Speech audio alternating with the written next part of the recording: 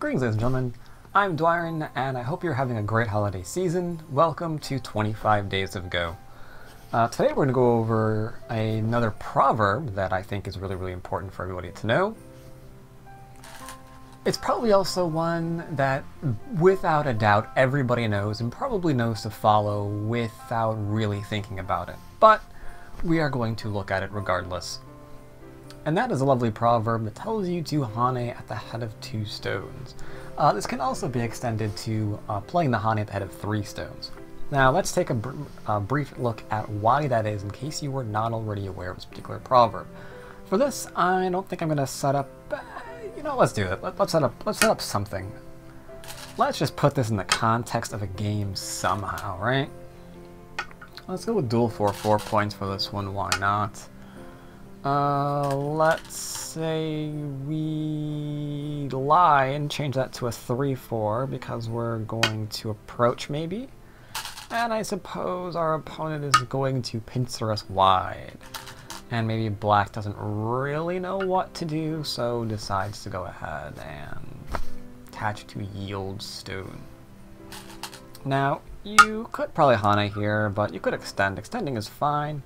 Your opponent does so as well, and now the question is what to do. Well, uh, if we play elsewhere, then we're kind of violating this and allowing our opponent to Hane at the head of two stones, because as you can see here, uh, if we Hane at the head of two stones, we create that lovely cut point. That lovely cut point allows us to do wonderful things, such as perhaps even double Hane, because we're threatening to kill off those two stones. Um, if we even just connect, for example, which I wouldn't recommend, I, I would do the double Hane here, I think. And let's say our opponent extends out, that cut play is left behind, so that's something that we can actually take for ourselves pretty quickly if we so desire. So that kind of aji is uh, really, really important. If we, for example, just decide uh, to back off, then maybe our opponent not feeling enough pressure here gets to, you know, settle himself and play something else. Whereas, because, uh, you know, black had played elsewhere. But if we, or no, yeah, because white played elsewhere, yeah, yeah, there we go.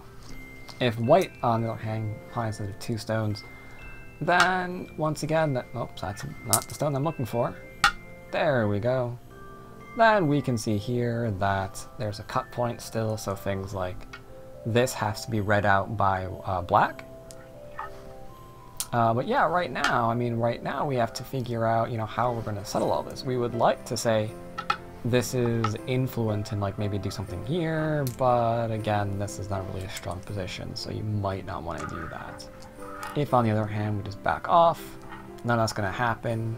Uh, maybe our opponent plays elsewhere, maybe our opponent gets stronger. Instead, we do not have the cut points being played, we do not have the weaknesses left behind, don't have the happy problems that your opponent's going to have to worry about and fix.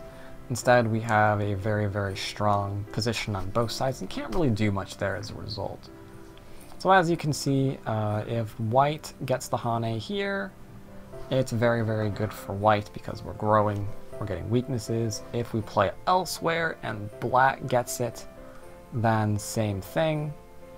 There's weaknesses and we're getting stronger. So playing the Hane head of two stones is fairly nice. And now let's completely throw away any attempt to make this into any kind of reasonable position. We can also actually see this with the the head of three. Like occasionally, occasionally, occasionally, occasionally, you'll see something along the lines of this. Something along the lines of this. And uh, now the question is what to do here if white know, plays elsewhere. Well, then we wouldn't want to just extend and allow our opponent to keep getting, you know, strength here. We would want to Hane, perhaps even double Hane in this position as well, because this is last stone is now threatening an Atari here, and it's also threatening to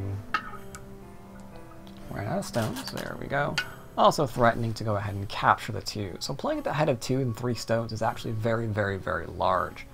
Uh, a lot larger than if we instead just back off, let's say, and extend and don't leave any weak points behind. Not, not as much to take advantage of. I mean, you can see the difference, like, night and day between uh, how much extra strength and how much extra weakness is left behind if you go ahead and Honic at the 2 and 3. And you can see quite clearly night and day differences between if we just extend and not do anything. So yeah, might want to pay attention to that. These uh, variations come up a lot, and the first person to play away usually isn't very, very pleased with themselves because it can go from this to something like this instead, and the amount of strength that shifts there is just astronomical. So that is why you often see that wonderful or hear that wonderful piece of advice that you really want to Hane the head of two and three stones. Now the great thing about this is that this is very, very straightforward, very, very hard to miss. So it's probably something that if you didn't know it, it'll be rattling around in the back of your head. And you'll be looking for the, those lovely shapes to go ahead and play the Hane um, at the head of. Or beware them if you're playing them yourself, and not let your opponent, you know, put you in that kind of position. So, hope you enjoy having fun with that particular proverb. Hope you've been having a great holiday season, and I will of course see you guys tomorrow. Take care everyone.